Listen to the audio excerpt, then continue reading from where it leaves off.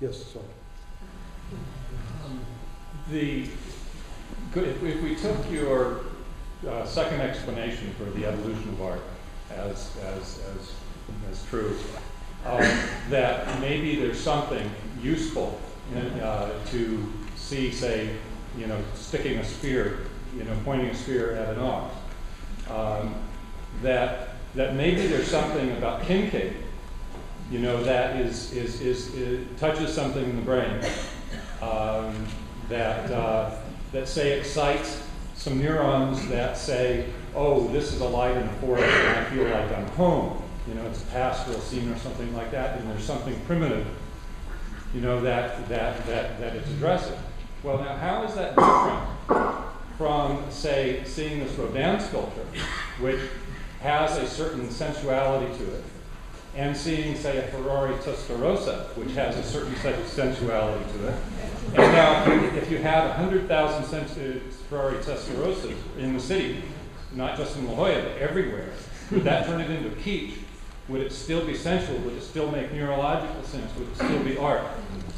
You know, does the tingling that we get from seeing, uh, say, a Picasso? Now, I, when you when you put the the, the, the, the, painting of the sky and you know, I don't remember I don't know the name of that piece, but it was tan and blue and beautiful clouds and you know so on.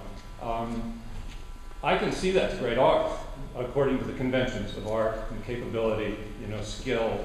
You know, it's, it's truly great work but it doesn't give me the tingling that certain other kinds of things do. So what's going on such that something that might meet all the conventions, might meet all eight, eight of your criteria, and yet nevertheless doesn't address what's going on, you know, uh, go ahead. So, well, my, my, explanation there is, is, is, is cliche, is what the thing, what the op- operation is, is when something becomes commonplace or very, very, you know, what you see all the time, it may, it may look in many ways uh, the same as something that's basically not a cliche.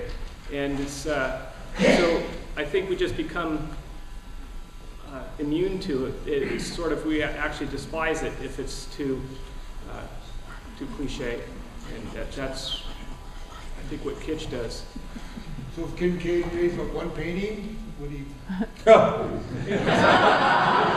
it doesn't matter how, how, how prolific or ubiquitous it is, but the, the idea of that painting, that style is cliche, no matter who does it, whether it's Kinkade or, or, uh, and he only did one, or however many.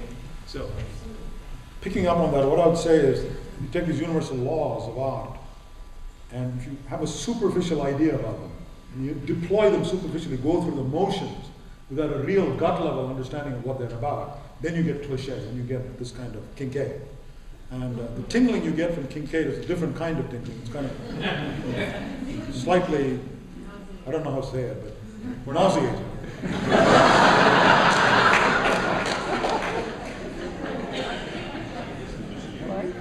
about up there at Meager? Dr. Ramachandran plays piano. I'm sorry, what was that? Do you play the piano or do you like to paint?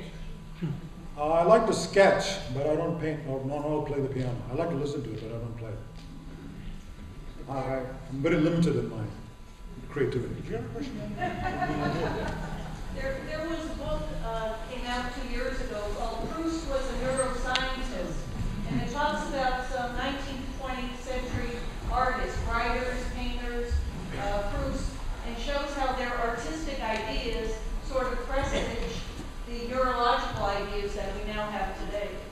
So that might be a little bit of an answer to your question. Another question?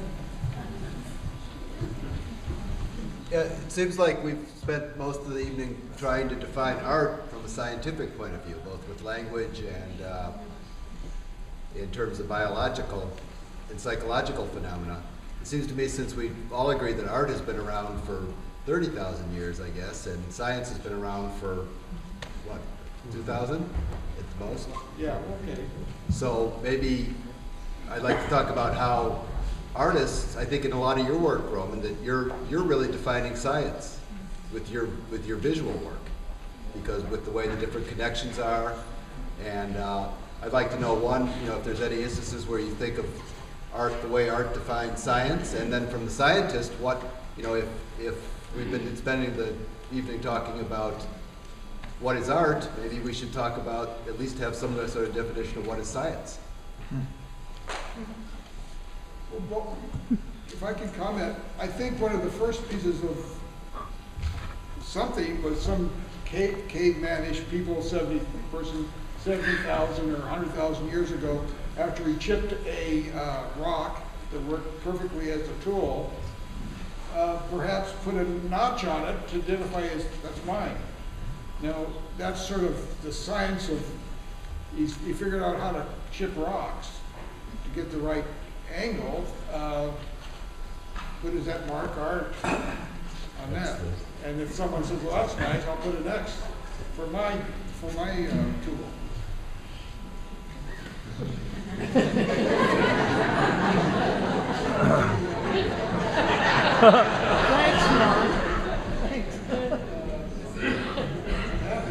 No, no, no, I, I, I'm sorry, I don't know.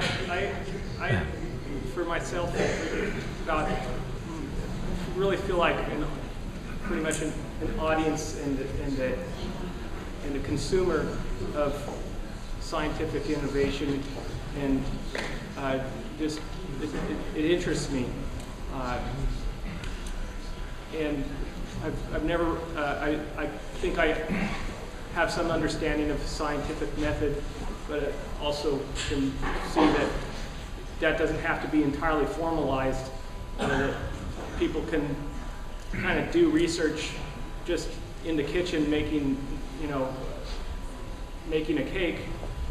Try it different next time after you, the, your findings was you, you, you didn't like the first one as much as the, the second one. There's this, there's some, some sort of science going on in that, and I suppose um, my approach as an artist is kind of uh, research oriented in that way.